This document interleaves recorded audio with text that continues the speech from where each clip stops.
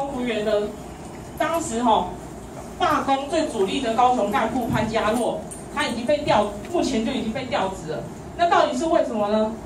只因为哈他向公司申请收餐的时候戴手套，因为他有荨麻疹的问题。那公司不仅不同意他收餐的时候戴手套，而且还把他直接从空勤调成地勤。那为什么原因呢？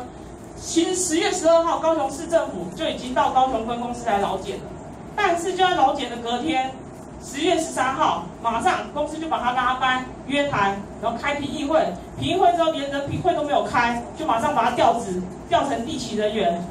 那我们其实很不晓得为什么公司要用这么快的速度处理我们的工会干部，因为他大家可以看到这张图。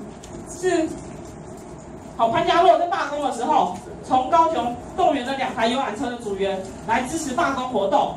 可是，显而易见是，公司也很清楚的知道，潘家洛是我们黄企业工会理事，也是空服员职业工会的会员代表即高雄办公室主任。公司知道，他其实是对我们工会来说很重要且很有影响力的工会干部，所以他就针对这种小事情。十大体检工会活动，要求合理的工作时间。公司也随后就约谈我，并且揭露我给书上的发文，说我破坏劳资和谐，严重化个人解雇。当时的老婆知道这件事情之后，她只默默的跟我说一句话。好像我怀孕的时候，我真的无话可说。其实一路走来，我只是将我亲亲身的体验，让我看到事情说出来。可是这个国家不知道怎么搞，从上到下只解决提出问题的人，而不愿意真正解决问题。现在就算我们裁决胜诉了。